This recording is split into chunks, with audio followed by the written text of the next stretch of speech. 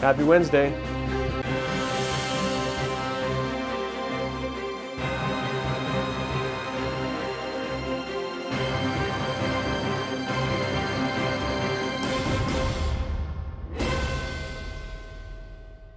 Got a bit of a interesting, interesting package this time.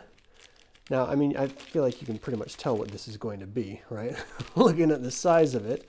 However, I bet you're not going to expect what it actually is. Oh, well, I suppose we can just rip it that way too. This is a Spelljammer book. Now, why would I have a Spelljammer book on a Dragonlance channel? That's a good question. Thank you so much for asking. Um, it's because this is book one of the Cloakmaster Cycle, which is a crossover novel between Krynn and Spelljammer.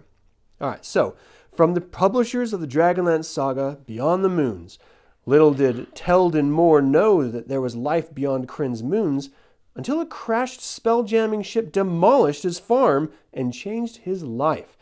With a dying alien's magical cloak and cryptic words, Teldin quickly discovers that he's a popular fellow. He and his giff companion race to find Astinus of Palanthas and the gnomes of Mount Nevermind to learn why, before the monstrous Neogi find them. Beyond the Moons is set in Dragonlance, fantasy world, is the first book in the Cloakmaster cycle of Spelljammer space fantasy novels from TSR. Now, I'm planning on reading this entire, I think there's like 12 books or something. It's pretty insane how big this gets. I'm planning on reading these after I'm done with um, uh, the Dark Disciple trilogy. So who knows when that's going to be? Definitely before this year is out. But some of these books are really expensive and hard to come by.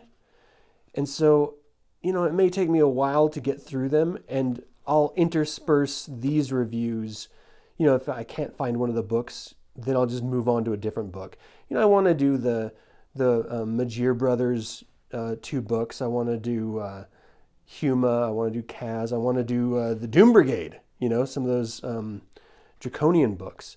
So I will ultimately keep going through a bunch of Dragonlance specific books, but I wanted to give this a shot. I have I know nothing about Spelljammer. Um, I know that you know part of what TSR was doing in its second edition era was trying to unify all their different worlds into this multiverse. It, it was a concept that was around from the very beginning of Advanced Dungeons and Dragons, and so it's not new. Fifth edition is acting like it's something new that they're trying to do now, but it's always been that way. Um, and so I'm, I'm just interested in these, you know, Dick crossover novels. Now, you know, we are obviously already had the Ravenloft crossover novels, which I've already read and covered. This is the next one. So look for this sometime, I don't know, if not late this year, then early next year, 2022. It should be interesting. I don't know, how, how long are these? Oh, these look pretty short. Look at that. 300 pages, that's nothing. So yeah, this is like a week. Um, of reading and then giving you a, a, a nice little review of it. I don't know. What do you guys think? Should I bother reading these? Would you be interested in hearing a review of a Dragonlance crossover with Spelljammer book? I think it's interesting, if nothing else. Let me know. Let me know your thoughts. Wow, that looks tiny in the, in the frame. Let me pick it up. Let me know your thoughts uh, in the comments. Until next week, have a fantastic week.